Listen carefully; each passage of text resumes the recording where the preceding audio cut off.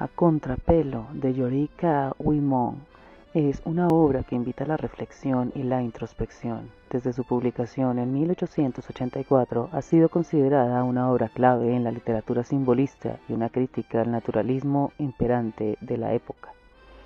El autor nos presenta a de un personaje que se aleja del mundo y busca una vida contemplativa en la soledad de su casa.